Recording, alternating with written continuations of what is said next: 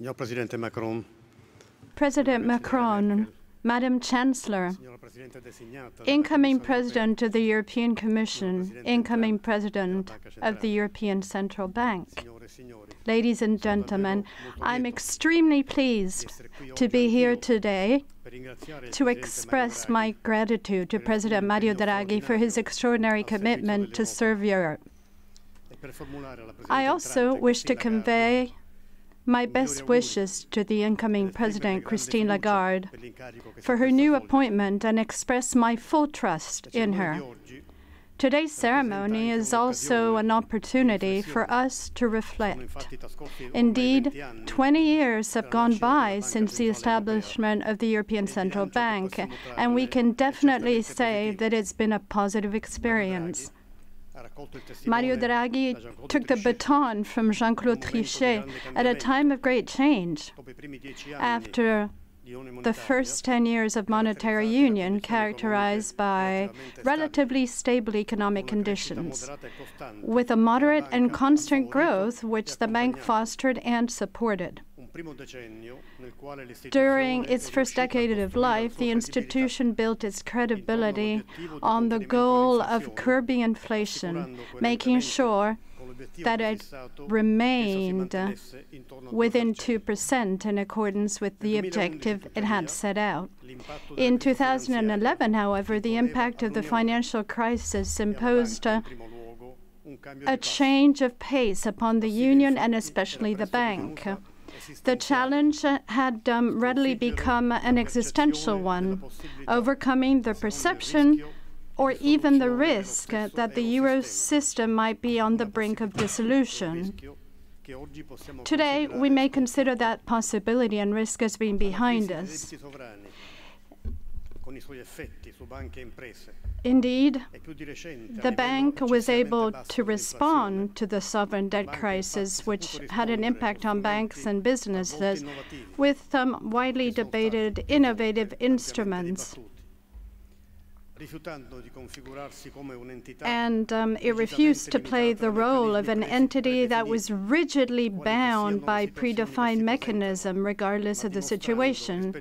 Instead, it adopted a smart and responsive approach and never resigned itself passively to dealing with the consequences of any given situation, while always respecting the mandate entrusted to it.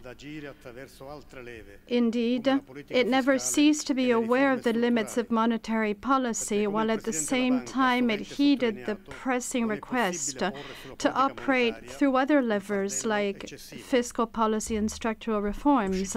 Because, as often stressed by the president of the bank, we can't place too great an onus upon monetary policy. Once the darkest phase was over, the Union had to secure the European economy, especially it had to support the European economy's final recovering by sustaining growth and employment levels. And uh, there were many significant responses, and it was recognized that all the institutions of the Union had to do their part. The overall architecture of the single currency became more robust. Common national budget rules were strengthened. The European Stability Mechanism was created, and the banking system was overhauled, with the consequent introduction of a single supervisory mechanism. Now, the single resolution mechanism in case of bank failures was thus established, along with a European system to protect bank deposits, although a European deposit insurance scheme is yet to be completed. Over the past eight years, Mario Draghi uh, authoritatively served a more solid and inclusive Europe. He perceived the defense of the single currency as a battle to be fought with a determination against the forces that wanted to see it crumble. With um, great courage, a courage that was rational because it was always supported by analyses produced by the institution itself and the Council in its collegiality, in a context which, by its very nature, is characterized by uncertain individual and market conditions. A courage that enabled him to listen to dissenting and critical opinions, but also appreciate the contribution of those who challenged consolidated visions. Today, I think we can say that the European economic system is sounder. Employment levels have risen and are higher on average than in 1999. The European um, banking system is more compact. There is a higher degree of integration, a greater convergence, but especially, and this is one of the greatest achievements of the past few years, popular support for the euro has gone back to being especially high. Today, I think we're also given the opportunity to look at what still needs to be done in this vast continent of ours, especially in order to strengthen the Eurozone. We must not forget that competition with the world's great economic areas has become truly fierce. And more than ever, size has become a crucial element to be able to influence the course of events in order to protect our societies and citizens.